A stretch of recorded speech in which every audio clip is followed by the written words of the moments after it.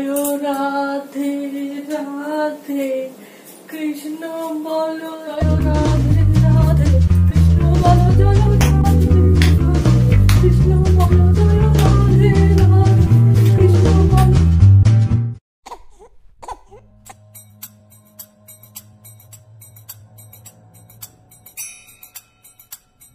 ঠাকুর আবার কেন মেয়ে হলো? মেয়ে যদিও বা হলো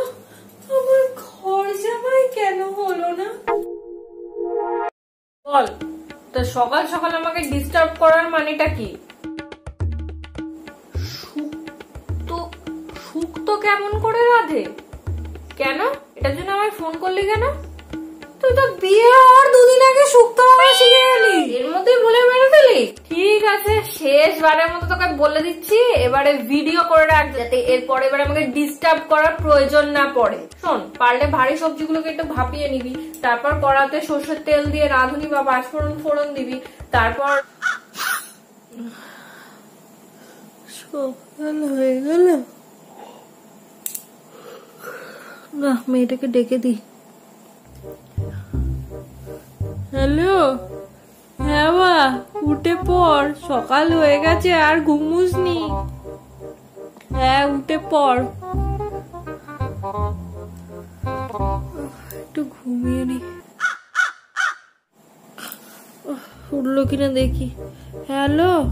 হ্যাঁ মা, এবার বাথরুম যা। গিয়ে সব কাজকর্ম করে জামা কাপড় কেচে চান করে নে।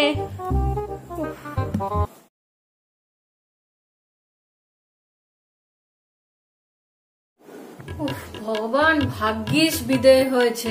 না হলে ঘরটার যা অবস্থা করে রাখতো। আর মাসে মাসে পড়াশোনা খরচা তো ছেড়েই দিলাম, সে পার তো কবেই চুকে গেছে।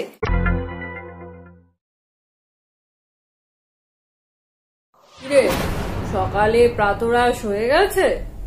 কি দিল প্রাতরাসে লুচি তরকারি? কেন?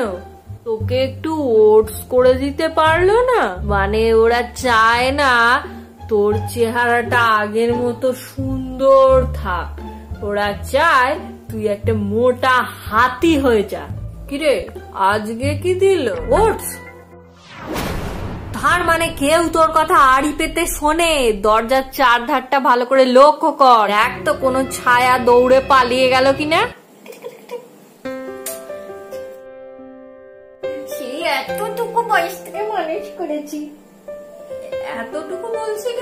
জামাই যদিও হলো তবে কাছে বাড়ি কেন হলো না? বেগুন ডাটা উচ্ছে এইসব সবজিগুলোকে একটু কড়াই নেড়ে চেড়ে ভালো করে ভেজে নিবি তারপর ওই সেদ্ধ করা সবজিগুলো জল ফেলে দিয়ে দিবি। ব্যাস তারপর খেয়ে আমাকে জানাবি কেমন হলো। নে আর বিরক্ত করিস না যা বিদায় হ। হ্যাঁ বলছি জল খাবারটা খেয়ে নে। যাই রান্না করি গে। আজ লিপস্টিক চাই তো কাল লিপ ক্রেয়ন পরশু লিপ গ্লাস চাই তো তরশু লিপ টিপ নখরা লেগেই আছে। একটা কাজ যদি নিজে করতে পারে। কি হলো? কি হলো? যা বাবা, সেই তো জন্ম থেকে আমাকে ঘর টাকতে দেখছিস। ঘর টাকতেও শিখলি না? সাধে কি আর অকম্মার ঢেকি বলি? ঠিক জানতাম শ্বশুরবাড়িতে গিয়ে আমাদের মুখ পড়বে। পুরো বাবার মতো হয়েছে। কিরে ঘুম থেকে উঠে পড়েছিস? এত সকাল সকাল উঠে পড়লি? ওরা কি চায় না? তুই একটু ভালো থাকিস? কিরে, ঘুম থেকে উঠে পড়েছিস? আজ তো বেলা হলো। ও, ওরা তবে চায় না তুই ভালো থাকিস। দূরে, দু দু দূরে বাড়ি যদিও বা হলো বাড়িতে ওয়াইফাই নেই কেন হ্যাঁ রে রান্না বান্না কিছু করেছিস না সেটাও তোকে মনে করাতে হবে। করে নে করে নে তাড়াতাড়ি করে নে। আরে নিজেকেও তো খেতে হবে নাকি? এই যা ডালটা বোধহয় পুড়ে গেল। হ্যাঁ শোন একটা কলা পাতা বা আম পাতা কেটে নিয়ে তাতে সিঁদুর আর তেল দিয়ে একটু ভালো করে ধোল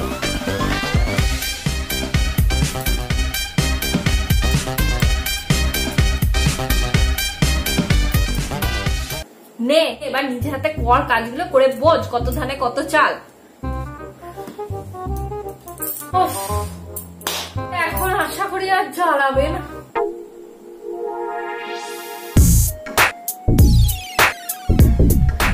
কানে কালা হয়ে গেলে আমার কানটা বাজছে?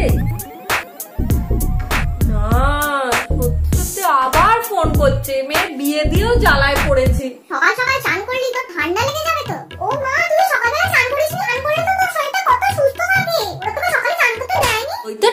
চিরি ওর বয়সে আমার ঠোঁট। সে যাকে বলে একবারে কমলা লেবুর কোয়া। এ ভাত খেয়েছিস? খাসনি আরে দুপুর দুটো তো বাজে আর কখন খাবি? এই তোর কি হয়েছে রে? জামাইয়ের থেকে কি গিফট চাইবে বুঝতে পারছিস না? সেটাও আমি বলে দেবো। ওয়াইফাই যদিও বা নেই ভিডিও কল করা যায় না কেন?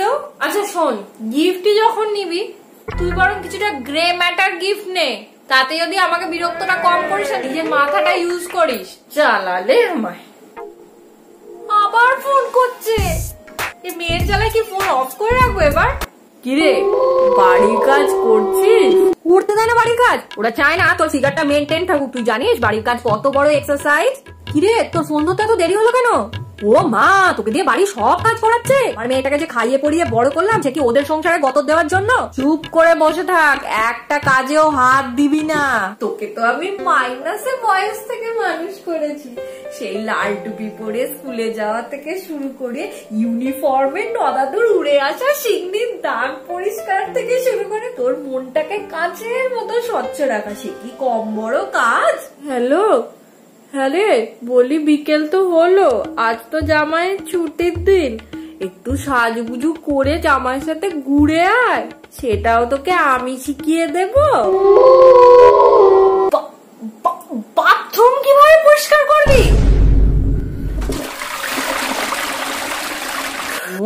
মা তোকে অত বড় একটা হার দিল। ও মা, তোকে একটাও দুল দেয়নি। ও মা, তোকে বিকেলে চাটাও করতে হলো। এ মা, তোকে রাতে রুটিটা করতে দিল না। কেন প্রভু? কেন? বলো প্রভু, বলো। কেন এই অবিচার আমার প্রতি? বলো। তবু তুই চলে গেলি। নকুলদানার আবার ক্যাশ মেমো। আপদ ঘাট থেকে নামিয়ে বেঁচেছি। হ্যাঁ রে জল টল খেয়েছিস তো? আর বাথরুম গেছিস?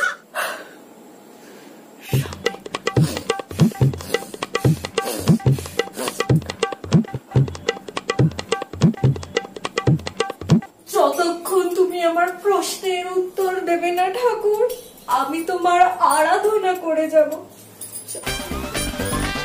বাইরে যে জামা কাপড়গুলো পরে গেছিলি ওগুলো ছেড়ে পরিষ্কার সুতির জামা পরে ঘুমোস, বুঝলি? আর বাইরে খেয়ে এসছিস তো?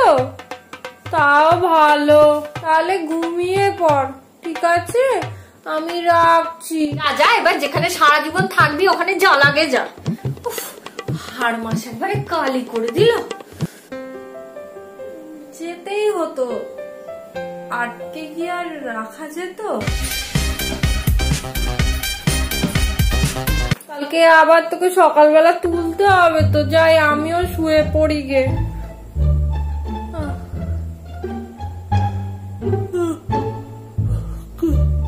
গুড নাইট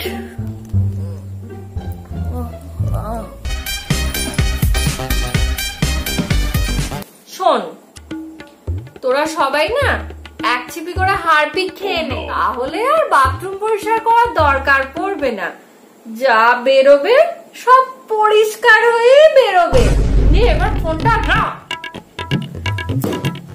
কিরে, ঘুমিয়ে পড়লি নাকি? এত তাড়াতাড়ি তোকে ঘুমোতে দিল? ওরা বোধহয় চায় না, তুই একটু টিভি দেখিস, একটু ফেসবুক করিস। রে এখনও ঘুমোসনি? ফেসবুকে তোকে অন দেখলাম। তবে কি ওরা চায় তোর শরীর খারাপ? হ্যালো? হ্যালো? দিদি আসছে কেন? বিজি আসছে কেন?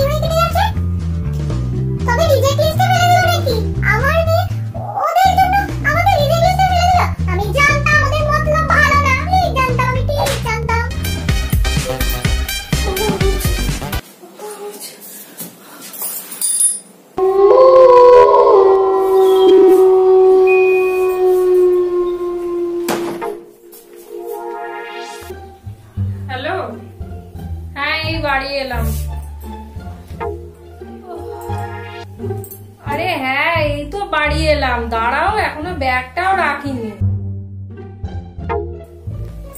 আরে বলছি, এখনও ব্যাগটাই রাখিনি। খাব থেকে এই পাঁচ মিনিটে পাঁচশো পঁচিশ বার ফোন করা কি জরুরি? মহিলা।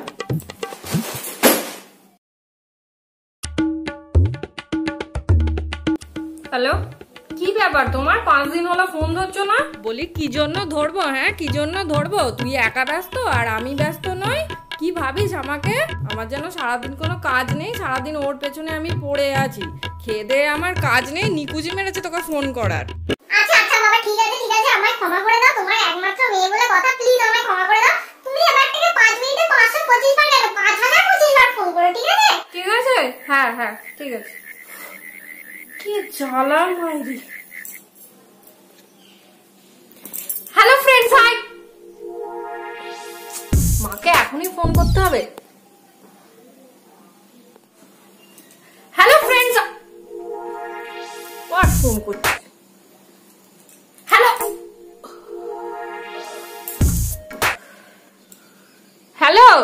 হয়েছে? স্পিকার অন করা আছে বলো কি বলছো? বলছি যে বিস্কুটটা পাঠিয়েছিলাম খেয়েছিস? আরে আমি তো ভিডিও করছি নাকি? সবসময় আমি ফোন করে বিরক্ত করো না তো।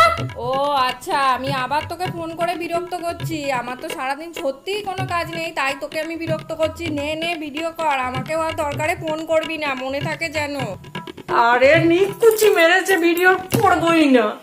Friends hi make life beautiful চ্যানেলে সবাইকে স্বাগত জানাই। এখানে অনেকেই আছো যারা বাবা মার একমাত্র সন্তান এবং তাদের বিয়ের পর বাবা মারা সম্পূর্ণরূপে একা হয়ে গেছে এবং মায়েরা বিভিন্ন রকম ভাবে রিয়াক্ট করে। তো তোমরা এর মধ্যে থেকে মিল পেলে অবশ্যই আমাদের জানিও। সবাই খুব ভালো থাকো। এতক্ষণ ধরে ভিডিওটা দেখার জন্য ধন্যবাদ। Thank you friends by